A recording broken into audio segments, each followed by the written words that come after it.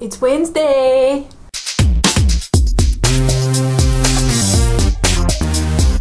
So I wanted to talk to you guys about something that I saw online. Well, actually, no, it wasn't something that I saw online. Somebody emailed it to me through my Tuna Talk um, email address. It was the After Ellen Hot of 2008 list. It's going on, and you can vote for the hottest celebrity. Um, and it's like the top 100 hottest celebrity. It doesn't necessarily mean they have to be gay. It's just who you think is hot. Because Maxim does their top 100, so they decided to do theirs too. And I'm, I'm looking at last year's winners, and they're all long hairs. They're all femme.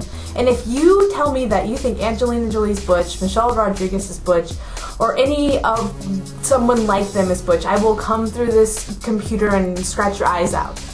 There's absolutely no butch love anymore. None. Like me, I'm a dying breed. I feel like um, I have to have, be a long hair to get noticed around here or something. But uh, yeah, so here's the plan.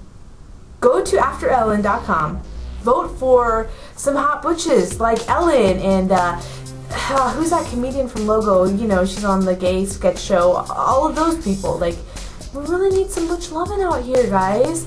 Put my name in. AJ from Ask AJ Anything. In fact, here's what I'm to do. After I'm done with this video, I'm to go to the After Ellen website, put Cautious Play from YouTube. Anything sarcastic from YouTube. List all my Beaver Bunch ladies. See what happens. If we can stuff the boxes, we as a whole, like um, all of the watchers here at Beaver Bunch, we could change something. We could put these lesser known hot lesbians on the list, and they're real lesbians. They're not just hot women who lesbians think are hot, they're actually gay and hot.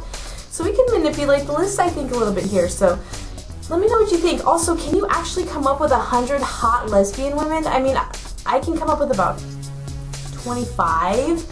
So I think we should manipulate the voting and definitely stuff the ballot boxes with, here, you have five. You have the whole Beaver Bunch, all of our names. You can put it down the list, then put five more of who you think are hot. But seriously, we need the Butch Love because there's nobody on that list that looks like me, and I'd like to be represented, represented, representation of who I am, and I want people to think that it's hot still. Like we're in demand, right? I mean, we're not like the Kia of women or something. Last year's list had people like uh, Allison Janney, Susan Sarandon.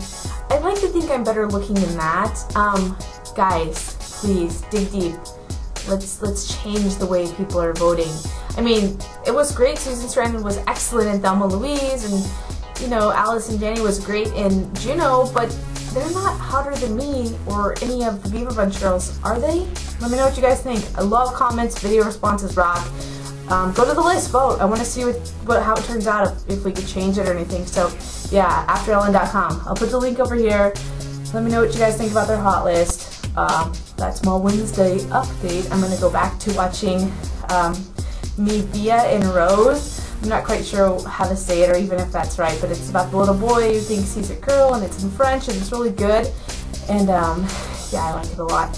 And I had a request to wear the lightning bolt sweatshirt. So here it is. Um, talk to you guys next week. See ya.